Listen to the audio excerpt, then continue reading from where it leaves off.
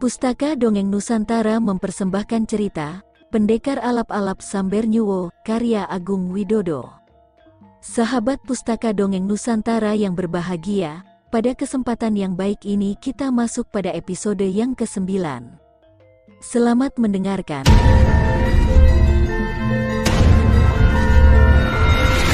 Setan alas, sudah saatnya kau berhenti dari perbuatan jahatmu, Hari ini kau akan membayar lunas atas segala perbuatan yang telah kau perbuat. 15 tahun silam, hari demi hari aku selalu mencari keberadaanmu, bahkan pertapaanmu sudah seperti rumahku sendiri, kau harus menebus kematian guru kita dengan nyawamu. Teriak naga hitam yang selama ini ia selalu mengejar setan alas. Kau harusnya sadar naga gosong, guru saja tewas dengan tanganku sendiri, Apalagi cuma kesaktianmu naga gosong, teriak setan alas sembari ia memasang kuda-kuda bertarungnya. Kita buktikan saja setan alas, siapa yang masih bisa menatap indahnya matahari terbit teriak naga hitam yang diiringi dengan ia segera bersiap-siap, mengeluarkan ilmu kesaktiannya. Kedua orang yang dulunya satu murid dari Jawara Randu seberang itu sekarang lagi berhadapan. Mereka sejatinya selain daripada satu murid, Ternyata mereka juga saudara kandung. Di mana naga hitam adalah kakak kandung daripada setan alas. Mereka sejak masih remaja dan belajar ilmu kesaktian, keduanya selalu beda pendapat dan beda pemikiran yang bisa dikata ibarat langit dan bumi. Menyerah dan bertobatlah setan alas teriak naga hitam yang sambil menghunus pusaka pedang naga hitam yang bilahnya berwarna hitam kemilauan. Bersujudlah dan ciumlah kaki aku naga hitam, jawab setan alas sambil menghunus pedang pusaka setan merah. Bilah pedang nampak merah darah dan tidak hayal jika orang-orang menyebutnya pedang setan merah. Setan alas melompat dan menebaskan pedangnya ke naga hitam. Namun dengan sangat cekatan naga hitam melompat ke udara seperti seekor burung elang.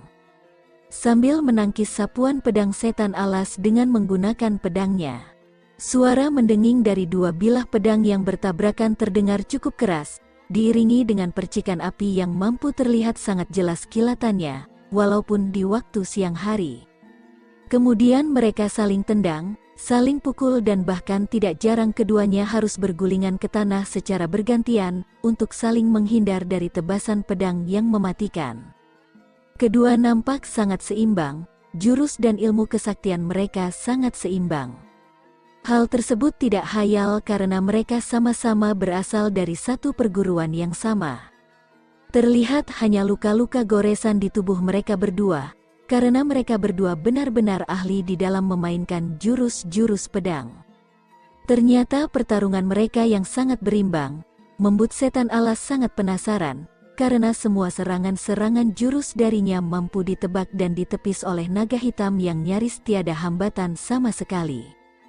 Terdengar setan alas berteriak kesekian kalinya untuk mengeluarkan ilmu kesaktian yang dimiliki olehnya. Angin pembelah awan, teriak setan alas yang mengeluarkan ilmu kesaktiannya. Angin bergelombang yang membawa getaran gelombang meliuk-liuk di ujung bilah pedang setan merah. Ketika ilmu tenaga dalam dialirkan ke pedang setan merah, naga hitam yang saat itu masih berada di tanah, buru-buru melompat ke udara laksana bagaikan sedang terbang dalam ketinggian dua penggala. Ia memekikan suara melengking sangat nyaring dan keras, hingga laksana bagaikan seekor burung rajawali yang bersuara di atas hamparan samudra yang luas. Sial, kesekian kalinya seranganku harus kandas suara dari setan alas, sambil menatap naga hitam yang masih berada di udara. Serangan dari setan alas harus kandas dan menghantam tanah yang kering dan keras. Hingga debu mengepul ke udara dan memenuhi gelanggang. Terlihat naga hitam yang masih berada di udara itu, membentangkan kedua tangannya dan tiba-tiba ia berteriak sangat keras elang merah. Ia mengeluarkan ilmu elang merah, nampak cahaya putih kemerahan melesat dari ujung pedang naga hitam yang dihempaskan ke arah setan alas dengan kecepatan sangat tinggi, karena saking cepatnya sambaran cahaya, bahkan seakan-akan sangat sulit untuk dilihat oleh mata orang-orang yang melihat pertarungan saat itu. Semua penonton pertandingan dibuatnya sangat terbelalak dan mereka keheranan, saat melihat setan alas yang lagi tidak fokus melihat pergerakan dari naga hitam, karena pandangan matanya masih tertutup oleh sebagian debu yang masih memadati udara di atasnya.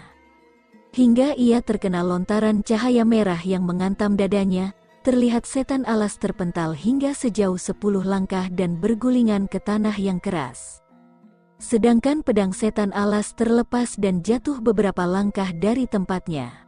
Karena ia tidak cukup waktu untuk menghindari serangan tersebut. Kemudian dengan cepatnya naga hitam mendarat di samping setan alas yang masih tergeletak dan belum sempat untuk ia berdiri. Nampak naga hitam menempelkan ujung pedangnya ke lehernya setan alas dan berkata, Menyerah dan bertobat atau ujung pedang ini menancap di lehermu. Aku rasa tiada salah, jika aku harus menyerah dan mengakui kehebatan dari kakangku sendiri dan mendapatkan maaf dari saudara tuaku. Ucap setan alas sembari ia memasang wajah yang nampak benar-benar menyesali perbuatan di masa-masa hidupnya. Berdirilah adikku, Hiduplah di jalan kebenaran, ucap naga hitam sambil mengulurkan tangannya dan membantu adiknya untuk segera bangkit dan berdiri. Kemudian naga hitam menyarungkan pedangnya kembali. Ia lalu membentangkan kedua tangannya untuk memeluk adiknya dan saat itulah setan alas menghantamkan pukul ke dada kakangnya, angin pembelah awan, hiaat pukulan yang sudah diisi dengan tenaga dalam yang sangat dahsyat itu menghantam dada naga hitam hingga ia terpental sejauh 20 langkah dan terhempas ke kayu pagar pembatas. Matilah dan susul gurumu naga gosong, hahaha, teriak setan alas yang diiringi dengan ia tertawa cukup keras. Terlihat naga hitam terhuyung-huyung, kemudian ia meraba gagang pedangnya kembali. Pedang yang sudah tidur dalam sarungnya ia bangunkan kembali, meski sambil menahan luka yang sangat dalam ia menarik pedang dari sarungnya. Naga hitam dengan luka dalam yang sangat dahsyat, ia mencoba bangkit kembali untuk melawan adiknya sendiri. Ia tidak pernah menduga bahwa adiknya berjiwakan seorang pengecut. Kini ia bangkit dengan kemarahannya yang berapi-api. Ia sudah benar-benar gelap mata, perlahan namun pasti, ia berjalan mendekati adiknya dengan sisa-sisa tenaga yang ia miliki. Melihat hal tersebut, Setan alas buru-buru melompat dan mengambil pedangnya yang tergeletak tidak begitu jauh dari tempatnya berdiri. Kemudian ia segera menerobos dan memberikan serangan-serangan ganas ke naga hitam. Sabetan demi sabetan pedang ia arahkan ke naga hitam. Pedang merah berkelebat ke kanan dan ke kiri melayang ke tubuhnya naga hitam yang semakin melemah. Sedangkan naga hitam terus memberikan perlawanan yang sangat luar biasa di dalam kondisinya fisiknya yang terus melemah. Hingga terdengar benturan bilah pedang yang mendenging puluhan kali. Sedangkan naga hitam terus memberikan perlawanan yang sengit, meskipun kondisi tubuhnya yang semakin melemah, ia tidak menghiraukan apa yang sedang ia rasakan saat ini. Nampaknya setan alas benar-benar mendominasi pertarungan itu. Namun naga hitam yang memberikan perlawanan dengan gigih, ia mampu membalikkan keadaan. Karena setan alas meremehkan kesaktian naga hitam yang terus menurun. Akibatnya ujung pedang dari naga hitam mampu menyambar leher setan alas di bagian depan. Luka tebasan itu hingga sedalam separuhnya jari telunjuk. Cairan merah muncrat dan membasahi bajunya, diiringi dengan suara teriakan yang tidak jelas berasal dari lehernya setan alas. Namun melihat setan alas dalam kondisi tubuhnya yang seperti itu, naga hitam buru-buru memeluk tubuh adiknya hingga mereka berdua bermandikan cairan yang berwarna merah. Namun naga hitam mengalami luka dalam yang sangat parah, kemudian Sambar Nyowo buru-buru melompat dan masuk ke gelanggang. Ia membawa keluar naga hitam yang sudah tidak mampu untuk berjalan sendiri. Sambar Nyowo melakukan hal itu demi keselamatan nyawanya naga hitam. Karena tapak darah dan yang lainnya pasti tidak akan membiarkan naga hitam untuk tetap hidup. Ia juga membawa dua pedang pusaka tersebut keluar dari gelanggang laga. Suara riuh dan sorak-sorai yang diiringi dengan tepuk tangan yang sangat meriah dari seluruh penonton, membuat suasana yang mengharukan itu seketika berubah menjadi sangat ramai. Mereka mengagumi kehebatan dari jawara naga hitam yang mampu menumbangkan setan alas, meski dengan kondisinya yang sudah terluka cukup parah. Beberapa saat kemudian, masuklah jawara serigala maut ke gelanggang laga. Ia melolong bagaikan suara dari seekor serigala sungguhan. Suara lolongan itu sangat keras, hingga mampu menggentarkan hati dan jiwa seluruh penonton yang berada di situ. Ia sudah bersiap untuk menghadapi sang dewa pedang. Apakah mungkin pertarungan ini akan berlangsung lama? Tanya salah satu penonton kepada rekan-rekannya. Kita lihat saja hasilnya, mereka berdua tergolong pendekar papan atas. Jawab salah seorang sambil ia melihat dewa pedang yang sudah berhadapan dengan serigala maut. Serigala maut nampak menyeringai dengan tajam, rambut panjang dan lurus berwarna merah, kumis dan jenggot yang panjangnya hingga satu jengkal. Tubuh pendek namun sangat berotot dan kekar, seakan-akan menambah penampilannya yang sangat mengerikan. Penampilanmu sangat mengerikan, bahkan bisa dikata kau sangat cowok untuk menjadi orang-orangan sawah, serta penampilanmu tidak pantas untuk ditiru oleh semua muda, hahaha, Celetuk ucapan dari Dewa Pedang sambil ia mentertawakan penampilan serigala maut yang menurutnya sangat menggelikan dan terkesan aneh. Serigala merah matanya melotot tajam dan ia merasa sangat marah ketika mendengar dan melihat Dewa Pedang menertawakan penampilannya. Hai, Dewa Pedang, ucapanmu apakah sesakti ilmu yang kau miliki? Apakah kau sudah yakin untuk melawan aku? Teriak serigala maut sambil menyeringai liar yang nampak di wajahnya. Aku tidak yakin akan membunuhmu serigala merah, karena kejahatan yang kau lakukan tidak sampai menimbulkan kematian dari penduduk yang tidak berdosa dan tidak mempunyai ilmu kesaktian, juga karena kau tidak mengumbar nafu bejatmu. Maka dari itu aku hanya inginkan mencukur rambut dan kumis, serta jenggotmu yang kelewat batas itu. Jawab Dewa Pedang, orang yang tinggi dan gagah, serta berpakaian belang mirip dengan corak dari seekor zebra. Ia sesuai dengan namanya, karena terselip dua pedang yang digendong di punggungnya dengan posisi menyilang.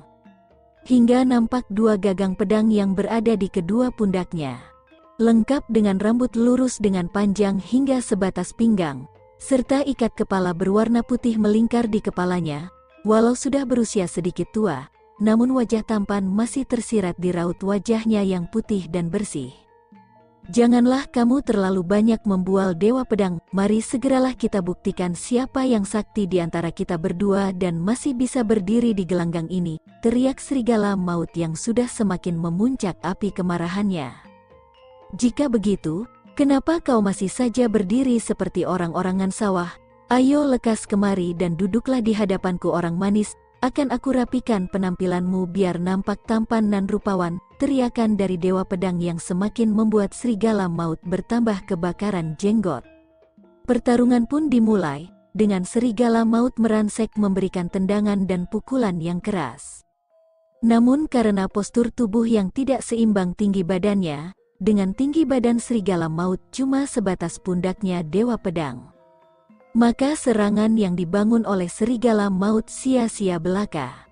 Bahkan Dewa Pedang mampu mengirim pukulan dan tendangan keras yang mampu membuat serigala maut terpelanting beberapa kali. Meskipun terkadang ia terjungkal dan jatuh bangun dalam serangkaian serangan-serangan yang dibangun oleh diri sendiri, tetapi serigala maut belum mengeluarkan ilmu kesaktiannya.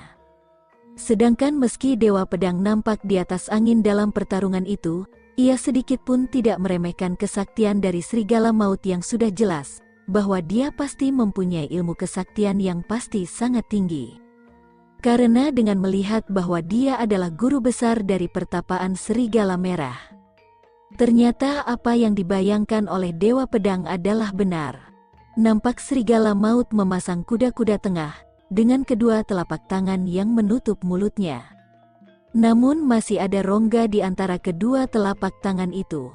Kemudian lapun melolong seperti suara serigala hutan rimba. Sesaat kemudian ia meniupkan awan merah membara ke tubuhnya Dewa Pedang. Ternyata hal tersebut membuat Dewa Pedang jatuh bangun, di dalam menghindar dari serangan-serangan yang dibangun oleh serigala maut yang berupa lontaran awan panas yang bertubi-tubi itu. Dewa Pedang hanya melompat dan bergulingan ke tanah yang kering. Sedangkan luas gelanggang yang terbatas memaksa Dewa Pedang tidak bisa berbuat banyak untuk menghindari serangan tersebut.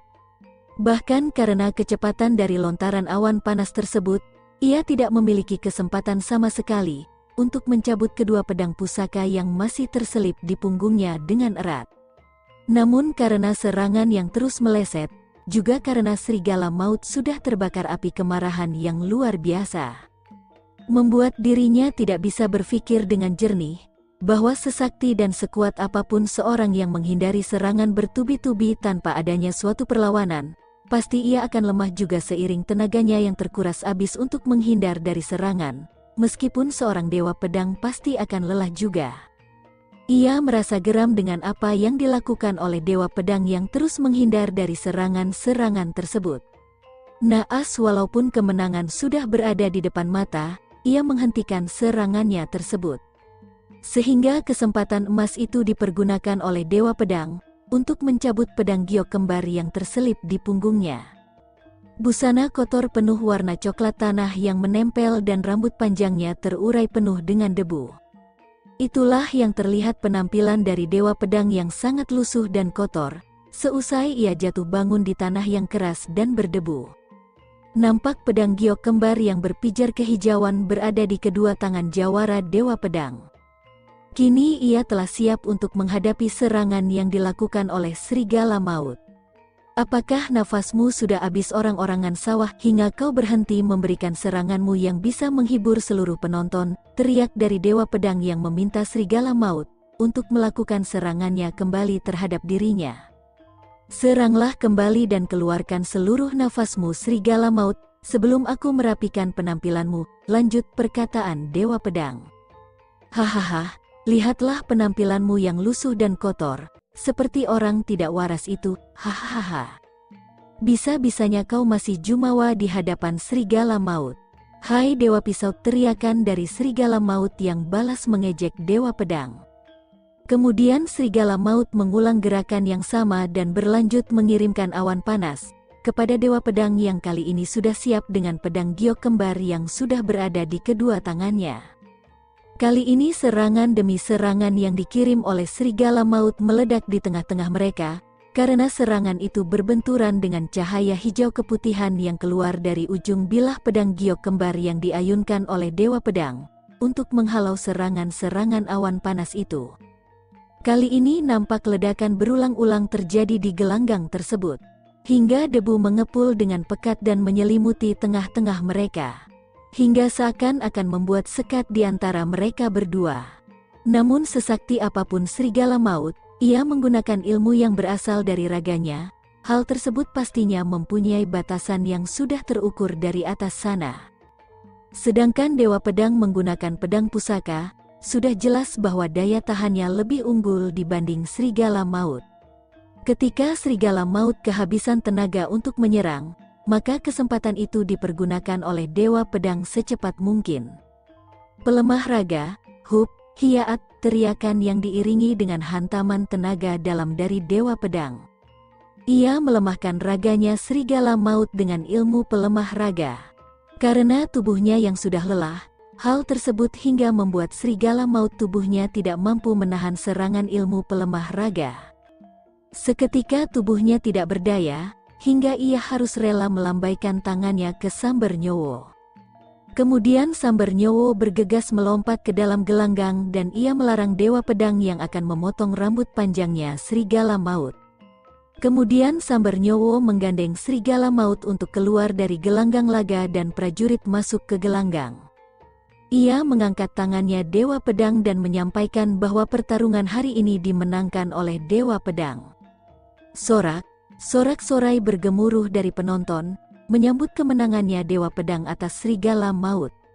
Kemudian prajurit mengumumkan laga hari esok, yaitu antara Jawara Bajol Ijo yang belum ada penantang, juga Iblis Rambut Api yang belum memiliki penantang. Jawa Tapak Darah juga belum memiliki penantang, Akankah mereka tiada yang berani melawan, ataukah mereka harus saling beradu ilmu kesaktian? Kita tunggu laga hari esok, sedangkan saat laga selesai, hari masih sangat siang. Maka Sambar Nyowo bergegas mengambil sikap, atas perbuatan dari senopati kerajaan yang telah ia tumbangkan. Sedangkan ketika usai laga, matahari masih kurang sejengkal untuk berada tepat di tengah-tengah atas kepala. Sambernyowo terlihat sibuk mempersiapkan pedati yang akan digunakan untuk mengantar pulang jawara naga hitam ke pertapaan Kaliurang. Karena melihat luka yang diderita, ia sudah tidak mungkin untuk menunggang kuda seorang diri. Kakang, Bolehkah aku membantu? Tanya seruling senja sambil mendekat dan memegang kendali dari dua ekor sapi. Tuan pendekar, ucap Samber Nyowo sembari menoleh ke atas dan menatap wajah yang tertutup cadar hitam. Boleh Tuan pendekar, jawab Samber Nyowo sembari melempar senyum kepada seruling senja.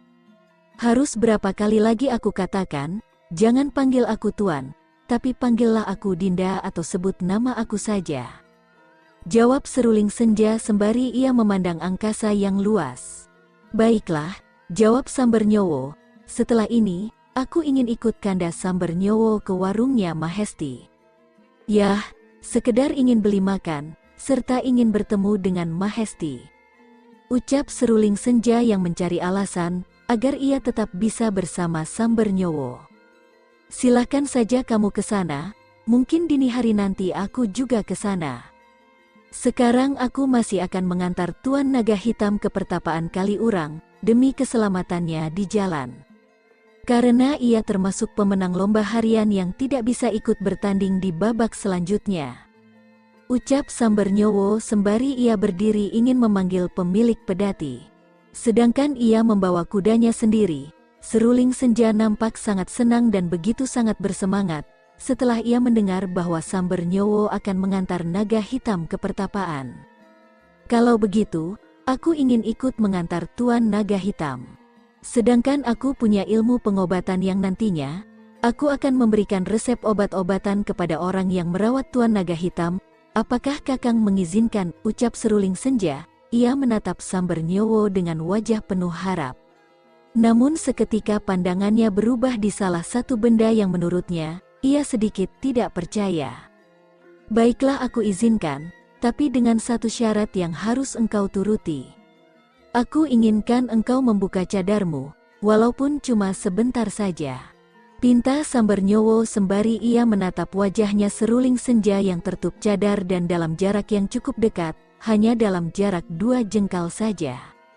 Baiklah, tapi aku tidak ingin membuka cadar aku di sini, karena terlalu banyak orang yang melihat aku.